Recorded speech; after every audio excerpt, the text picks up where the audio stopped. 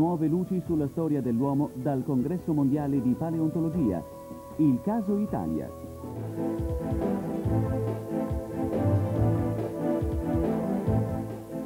Sulla preistoria dell'uomo si è scritto molto in questi ultimi anni e anche molti ritrovamenti importanti sono venuti alla luce, tra l'altro i più importanti proprio in Etiopia, patria d'origine degli ominidi più antichi finora scoperti.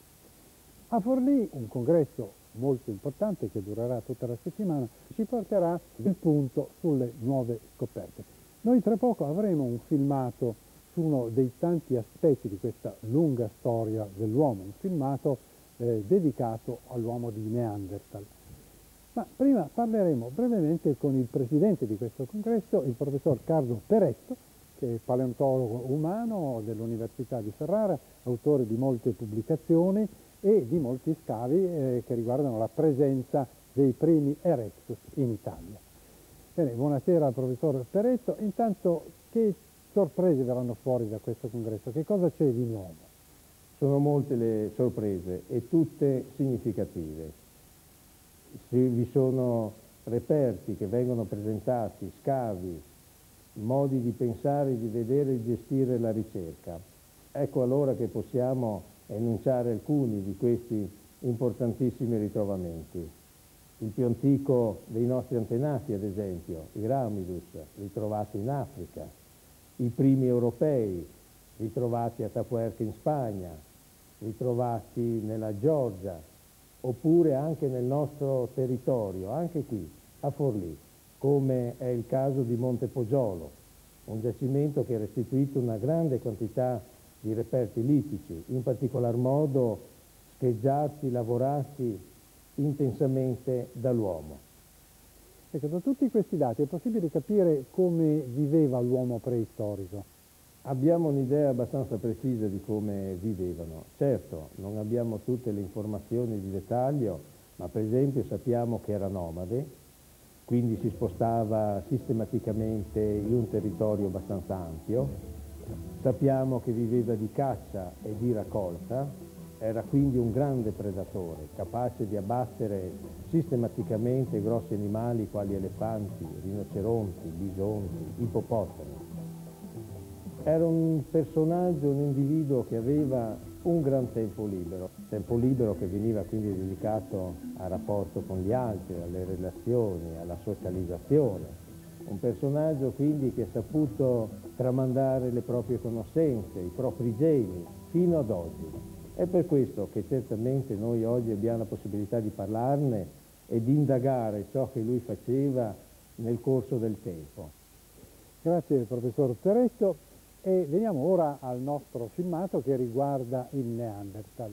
Il Neanderthal ha abitato in Italia a lungo, sono state trovate molte tracce della sua presenza un po' ovunque. È stato l'uomo europeo dell'epoca dei grandi freddi, l'ultimo ominide prima dell'arrivo dei sapiens sapiens, circa 30-35 mila anni fa. Oggi si è scoperto qualcosa di più su questa storia, ma molti misteri rimangono in particolare per quel che riguarda la sua scomparsa.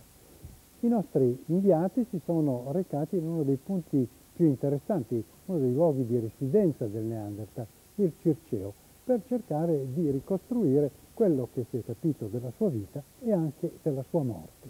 Vediamo. In questi ultimi tempi sono avvenute delle scoperte davvero eccezionali sulle nostre origini. Si tratta eh, di reperti unici e antichissimi, e due di queste scoperte sono avvenute proprio qui da noi, in Italia. Nelle campagne del Basso Lazio è emersa la calotta cranica di quello che è considerato il più antico italiano fino ad oggi rinvenuto e forse anche il più antico europeo. La sua età è davvero sbalorditiva, pensate, si aggira sugli 800.000 anni. In un'altra scoperta avvenuta in una grotta vicino ad Altamura, nelle Puglie, è stato rivenuto lo scheletro di un altro cacciatore preistorico, anche lui con un'età elevatissima, forse 300.000 anni.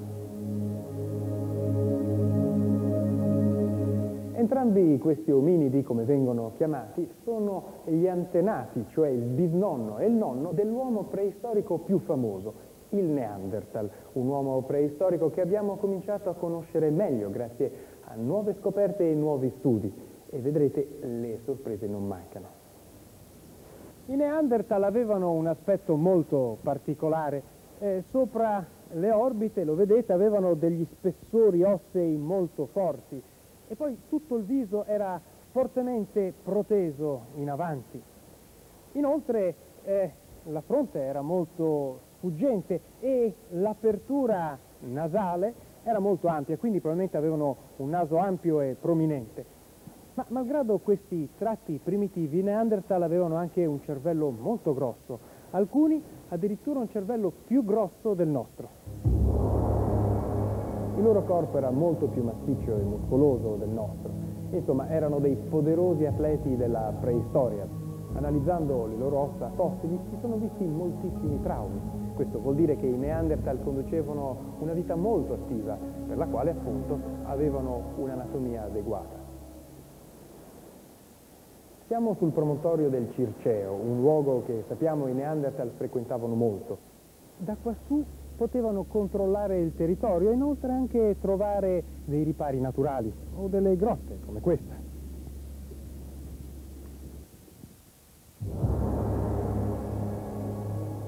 Siamo nella grotta Guattari e qui è stato trovato il cranio di un Neanderthal, alla base sfondata. Per molto tempo si è pensato che altri Neanderthal lo avessero divorato aprendo il cranio per mangiare il cervello, cioè che fosse una vittima di cannibalismo. Oggi si ritiene però che siano state delle iene preistoriche a ridurre questo cranio così. Ma il cannibalismo a quell'epoca esisteva davvero. In alcune grotte della Croazia, ad esempio, sono stati trovati dei resti di Neanderthal macellati per essere mangiati davvero.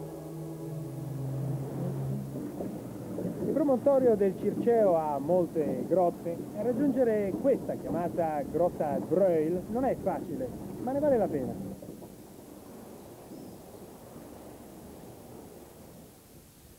Qui da dieci anni lavora un gruppo di ricercatori dell'Università di Roma La Sapienza e dell'Istituto Italiano di Paleontologia Umana e sono state fatte delle scoperte molto interessanti sono stati ritrovati ad esempio eh, dei denti e un pezzo di cranio di Neanderthal che hanno circa 37.000 anni. E poi sono stati trovati degli strumenti molto enigmatici come questi, vedete? Sono a metà strada tra quelli tipici del Neanderthal e quelli classici del Cro-Magnon, cioè dell'uomo moderno, eh, che proprio in quel periodo stava invadendo l'Europa venendo dall'Africa. Sembrerebbe quasi che i Neanderthal avessero tentato di cambiare i loro strumenti, copiando quelli più efficaci dell'uomo moderno, che aveva una cultura superiore, una cultura che fu capace nel tempo di realizzare vere opere d'arte, opere che il Neanderthal, malgrado il suo grosso cervello e la sua abilità a lavorare la pietra, non fu mai capace di realizzare.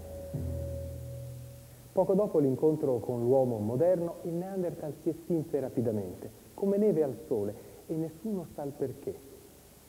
Furono malattie portate dall'uomo moderno oppure eh, una competizione, magari con conflitti diretti tra queste due forme umane?